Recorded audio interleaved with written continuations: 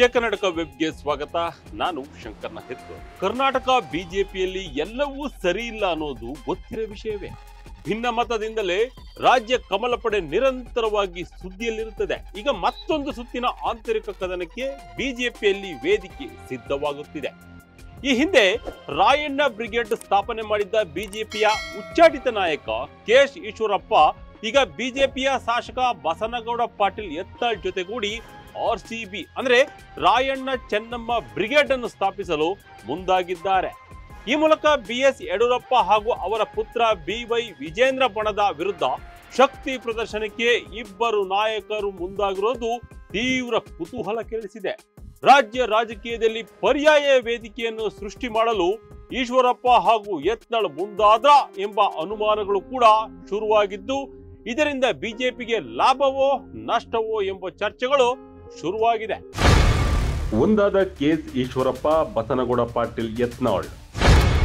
RCB ಮೂಲಕ ವಿಜೇಂದ್ರ ವಿರುದ್ಧ ಮತ್ತೊಂದು ಫೈಟ್ ಹೌದು ಲೋಕಸಭಾ ಚುನಾವಣೆಯಲ್ಲಿ ಬಂಡಾಯದ ಕಾರಣಕ್ಕೆ ಬಿಜೆಪಿಯಿಂದ ಉಚ್ಚಾಟನೆಗೊಂಡಿರುವ ಮಾಜಿ ಡಿಸಿಎಂ ಕೆಎಸ್ ಈಶ್ವರಪ್ಪ ರಾಜ್ಯ ರಾಜಕೀಯದಲ್ಲಿ ಮತ್ತೆ ಪ್ರವರ್ಧಮಾನಕ್ಕೆ ಬರಲು ಪ್ರಯತ್ನ ಮಾಡುತ್ತಿದ್ದಾರೆ. ಇದಕ್ಕಾಗಿ ಈ ಹಿಂದೆ ತಮಗೆ ಶಕ್ತಿ ತುಂಬಿದ್ದ ಸಂಗೊಳ್ಳಿ ರಾಯಣ್ಣ ಬ್ರಿಗೇಡ್ಗೆ ಹೊಸ ರೂಪ ನೀಡಲು ಈಶ್ವರಪ್ಪ ಮುಂದಾಗಿದ್ದಾರೆ. ಆದರೆ ಹೊಸ ರೂಪ ಮತ್ತು ಹೊಸ ಹೆಸರು ಬಿಜೆಪಿಯ ನಾಯಕರನ್ನು ಚಿಂತೆಗೆ ತಳ್ಳಿದೆ. ಕೇವಲ ಕುರುಬ ಸಮುದಾಯದ ಸಂಘಟನೆಗೆ ಸೀಮಿತವಾಗಿದ್ದ ರಾಯಣ್ಣ ಬ್ರಿಗೇಡ್ಗೆ ಈಗ ಉತ್ತರ ಕರ್ನಾಟಕದ ಬಹುಸಂಖ್ಯಾತ ಪಂಚಮಸಾಲಿ ಸಮುದಾಯ ಕೂಡ ಜೊತೆಯಾಗಿದೆ. ಅದರಂತೆ ಹೆಸರು ಕೂಡ ಬದಲಾಗಿದ್ದು ರಾಯಣ್ಣ ಚೆನ್ನಮ್ಮ ಬ್ರಿಗೇಡ್ ಎಂಬ ಹೆಸರಿನೊಂದಿಗೆ ಹೊಸ ಸಂಘಟನೆ ಅಸ್ತಿತ್ವಕ್ಕೆ ಬರಲಿದೆ. ಅಕ್ಟೋಬರ್ ಇಪ್ಪತ್ತರಂದು ಬಾಗಲಕೋಟೆಯಲ್ಲಿ ಈ ಬಗ್ಗೆ ಅಧಿಕೃತ ಘೋಷಣೆಯಾಗುವ ಸಾಧ್ಯತೆ ಇದ್ದು, ಈಶ್ವರಪ್ಪ ಅವರ ಪ್ರಯತ್ನಕ್ಕೆ fire brand leader Basanagouda Patil Yatnal ಸಾಥ್ ನೀಡುತ್ತಿರುವುದು ಬಿಎಸ್ವೈ ಬಣಕ್ಕೆ ನುಂಗಲಾರದ ತುತ್ತಾಗಿದೆ.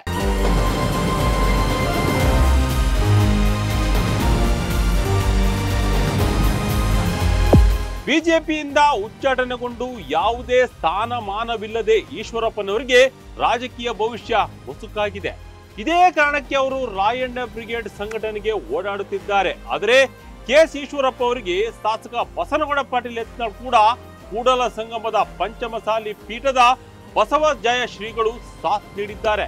ಇದರಿಂದ ರಾಜ್ಯದಲ್ಲಿ ಹೊಸದೊಂದು ಸಂಘಟನೆ ಸೃಷ್ಟಿಯಾಗಲಿದ್ದು, ರಾಜ್ಯ ರಾಜಕೀಯದಲ್ಲಿ ಪರ್ಯಾಯ ವೇದಿಕೆಯಾಗುವ ಲಕ್ಷಣಗಳು ಕಾಣುತ್ತಿವೆ.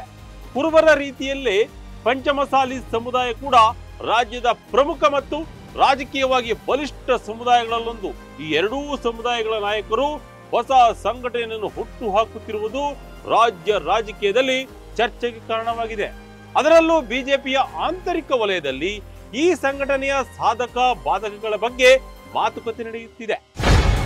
ಯತ್ನಾಳ್ ತವರು ವಿಜಯಪುರದಿಂದಲೇ ಆರ್ಸಿಬಿಗೆ ಚಾಲನೆ. ಅಕ್ಟೋಬರ್ ಇಪ್ಪತ್ತರಂದು ಆರ್ಸಿಬಿ ಬಗ್ಗೆ ಅಧಿಕೃತ ಘೋಷಣೆ. ಪ್ರಮುಖವಾಗಿ ಬಿಜೆಪಿಯ ಶಾಸಕ ಬಸನಗೌಡ ಪಾಟೀಲ್ ಯತ್ನಾಳ್ ಅವರ ಕ್ಷೇತ್ರ ವಿಜಯಪುರದಿಂದಲೇ ಸಂಘಟನೆಯ ಪ್ರಾಥಮಿಕ ಕೆಲಸಗಳು ಶುರುವಾಗಿದೆ. ಕೆಎಸ್ ಈಶ್ವರಪ್ಪ ಅವರು ವಿವಿಧ ನಾಯಕರು, ತಮ್ಮ ಆಪ್ತರು ಅಭಿಮಾನಿಗಳ ಜೊತೆ ಸೇರಿ ಸಭೆ ನಡೆಸಿದ್ದಾರೆ. ಈ ವೇಳೆ ಆರ್ಸಿಬಿ ರಚನೆ, ಹೋರಾಟದ ರೂಪುರೇಷೆಗಳ ಕುರಿತು ಸುದೀರ್ಘವಾದ ಚರ್ಚೆ ನಡೆಸಲಾಗುತ್ತಿದೆ. ಮುಂದಿನ ಸಭೆಯನ್ನು ಅಕ್ಟೋಬರ್ ಇಪ್ಪತ್ತರಂದು ಬಾಗಲಕೋಟೆಯಲ್ಲಿ ನಡೆಸಲು ನಿರ್ಧಾರ ಮಾಡಲಾಗಿದೆ.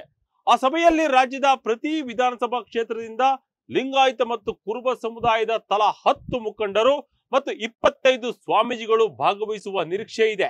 ಎಲ್ಲರೂ ಸೇರಿ ಸಮಾಲೋಚನೆ ನಡೆಸಿದ ಬಳಿಕ ಅವತ್ತೇ ಆರ್ಸಿಬಿ ಅಂದ್ರೆ ರಾಯಣ್ಣ ಚೆನ್ನಮ್ಮ ಬ್ರಿಗೇಡ್ ಹೆಸರು ಅಧಿಕೃತವಾಗಿ ಘೋಷಣೆಯಾಗಲಿದೆ ಎನ್ನಲಾಗಿದೆ.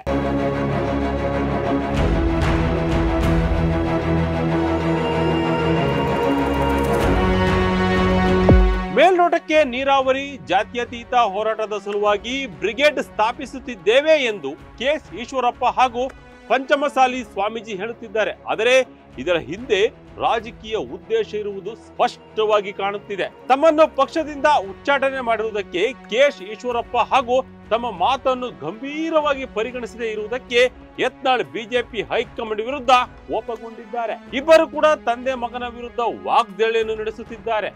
ಈ ರಾಯಣ್ಣ ಚೆನ್ನಮ್ಮ ಬ್ರಿಗೇಡ್ ಮೂಲಕ ಬಿಜೆಪಿಗೆ ಹಾಗೂ ಬಿಎಸ್ವಿ ಬಣಕ್ಕೆ ತಮ್ಮ ಸಂಘಟನಾ ಸಾಮರ್ಥ್ಯ ಪ್ರದರ್ಶನ ಮಾಡಲು ಇಬ್ಬರು ನಾಯಕರು ಮುಂದಾಗಿರುವುದಂತೂ ಸ್ಪಷ್ಟ. ಬಿವೈ ವಿಜಯೇಂದ್ರ ಆರ್ಸಿಬಿಯ ಮೊದಲ ಟಾರ್ಗೆಟ್. ಬಿಜೆಪಿ ಹೈಕಮಾಂಡ್ಗೆ ತಮ್ಮ ಶಕ್ತಿ ಪ್ರದರ್ಶನ ಮಾಡಲು ಆರ್ಸಿಬಿ ವೇದಿಕೆ. ಆರಂಭದಲ್ಲಿ ಸಿದ್ದರಾಮಯ್ಯ ಅವರ ಅಹಿಂದಕ್ಕೆ ತಿರುಗೇಟು ನೀಡಲು K. S Eshwarappa Rayanna brigade ಅನ್ನು ಶುರು ಮಾಡಿದ್ದರು.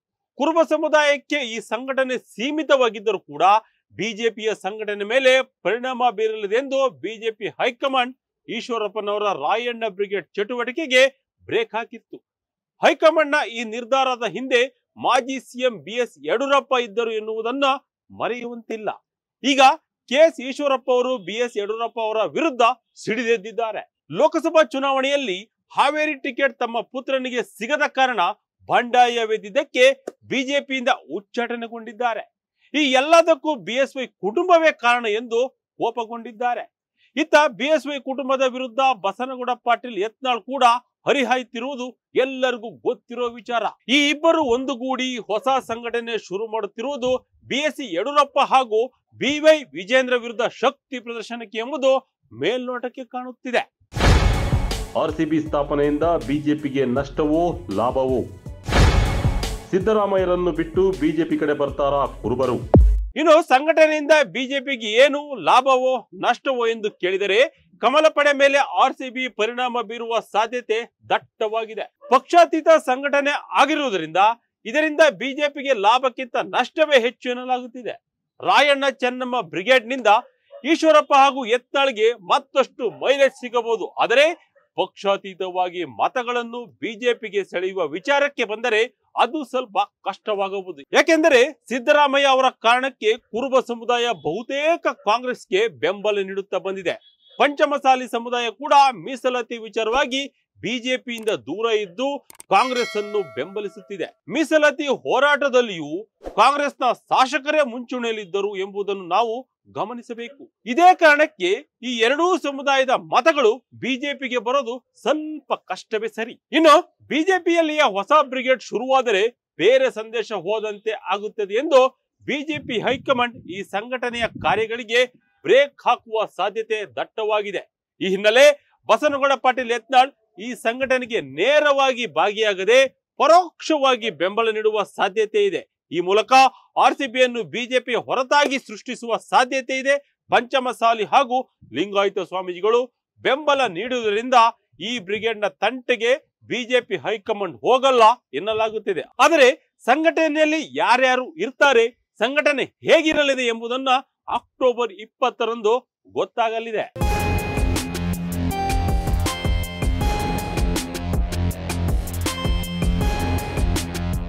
ಒಟ್ಟಿನಲ್ಲಿ ಬಿಜೆಪಿಯಲ್ಲಿಯೇ ಮತ್ತೊಂದು ಸಂಘಟನೆ ಶುರುವಾಗುವ ಸಾಧ್ಯತೆ ಇದ್ದು ಆಂತರಿಕ ಭಿನ್ನಮತಕ್ಕೆ ದಾರಿ ಮಾಡಿಕೊಡಲಿದೆ. ಬಿಜೆಪಿಗೆ ಗರ್ ವಾಪಸಿ ಮಾಡಬೇಕೆಂದು ಪ್ರಯತ್ನ ನಡೆಸುತ್ತಿರುವ ಕೆಎಸ್ ಈಶ್ವರಪ್ಪ ಅವರನ್ನು ಆರ್ಸಿಬಿ ಶುರುವಾದರೆ ಬಿಜೆಪಿಗೆ ವಾಪಸ್ ಕರೆಸಿಕೊಳ್ಳಲಾಗುತ್ತಾ ಅಥವಾ ಎತ್ನಳಿದಕ್ಕೆ ಬೆಂಬಲ ನೀಡಿದ್ರೆ ಬಿಜೆಪಿ ಹೈಕಮಾಂಡ್ ಒಪ್ಪಿಕೊಳ್ಳುತ್ತೆ ಎಂಬುದನ್ನ ಕಾದು ನೋಡಬೇಕಾಗಿದೆ.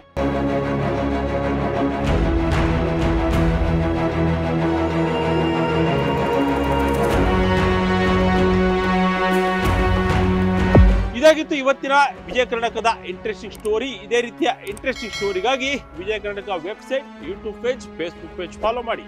ಧನ್ಯವಾದಗಳು.